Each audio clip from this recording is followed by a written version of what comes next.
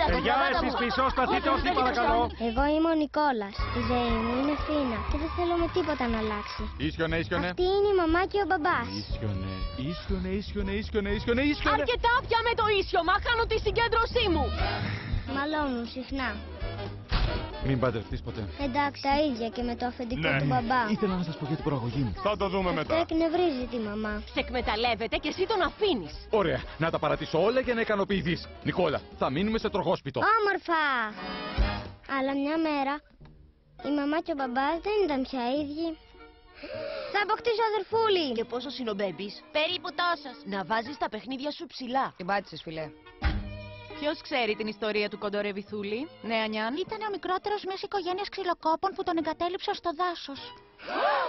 Λέω να κάνουμε μια βόλτα στο δάσος την επόμενη εβδομάδα. Ε, Να την καλοπιάσεις. Έτσι θα σε βρει χαριτωμένο και δεν θα μπορεί να σε εγκαταλείψει. Ναι! Ήθελα να ευχαριστήσω τη μαμά. Είναι πολύ όμορφο το λουλούδι σου, αγάπη μου. Αλλά δεν ήταν αρκετό. Και αύριο θα πάμε έναν περίπατο στο δάσος. Και εκεί άρχισαν οι χαζομάρες. Νικόλα, τι κάνεις; Άνοιξε. Άνοιξε αμέσως την πόρτα. Άνοιξε επιτέλους την πόρτα, παιδί μου. Τι κάνετε εδώ; Μπείτε στη σειρά ένα δύο. Καθίστε! Όρθιοι! Καθίστε.